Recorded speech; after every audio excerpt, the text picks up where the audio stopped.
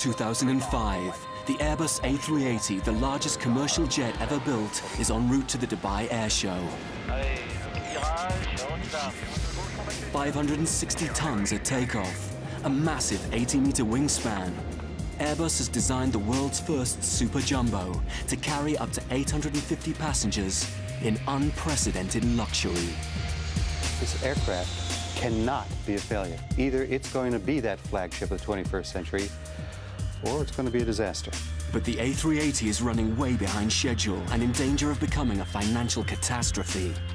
If Airbus doesn't deliver by the end of 2006, customers will start cancelling orders and the company could go bust.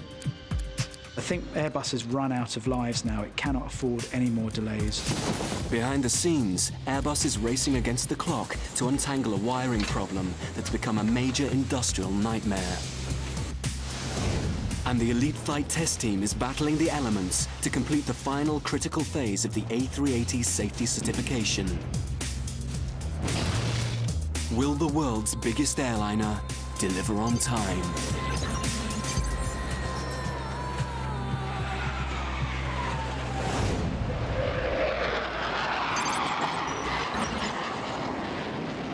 The Dubai Air Show, an international gathering of unimaginable wealth and glamour.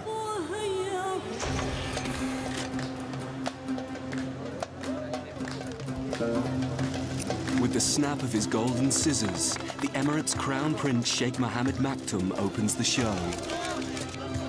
The first exhibit he visits is the A380. Emirates have ordered 45 of the Super Jumbos for a first delivery in just over one year. At $300 million in aircraft, Emirates want to be sure that the A380 is worth their investment and running on schedule. As the Sheikh and his entourage step inside the Super Jumbo, the Airbus top brass are quick to remind them that this A380 is merely a flight test prototype. But like most A380 customers, the Sheikh has just one vital question.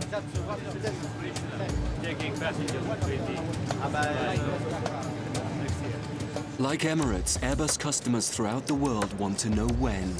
Like Emirates, they have all invested massive sums of money in interior design, route scheduling,